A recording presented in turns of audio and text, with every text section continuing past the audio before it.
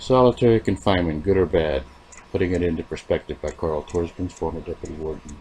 Let's take a look in the dark, darkest and the most loneliest shadows of the prison system, what we call solitary confinement. Let's look how some of these people have been locked away for the rest of their lives and the rest of society. They all have a story. And they all tell you that they don't belong there or it's the worst thing that's ever happened to them.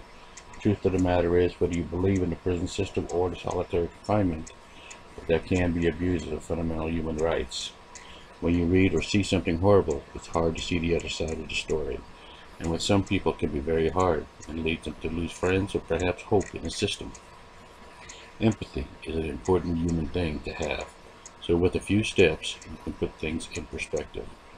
Take a moment and research solitary confinement and then make up your own mind whether or not you think this is harsh and cruel unusual punishment.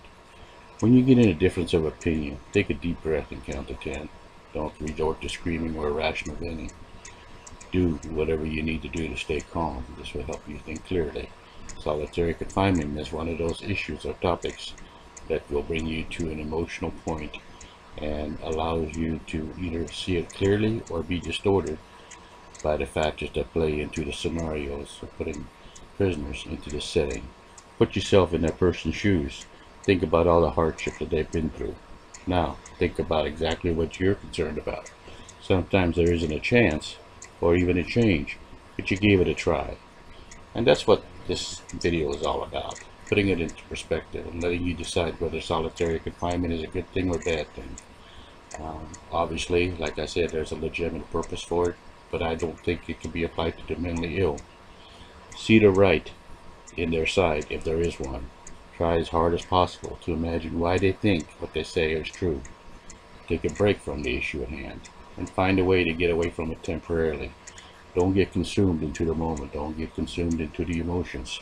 Solitary confinement is about human emotions or lack of human emotions impacted by a setting that is hard to describe, but yet reality to many that live there. Talk to others at Calmer. They will help you sort things out do some research. Ignore something is not always a solution, and it can cause more misunderstandings. Read research about solitary confinement and make up your own mind. Talk to others. Read the research that's been done, the psychological reports that have been issued regarding the mental impact of human beings in solitary confinement. Start listening to people more often to prevent misunderstandings in the future. Listening can also be very beneficial in any discussion or criticism, so be sure to do that so you can understand that person. If you did something wrong, apologize and move on. But in the case of solitary confinement, like I said, it's a passionate, heated discussion whether or not it's appropriate or not.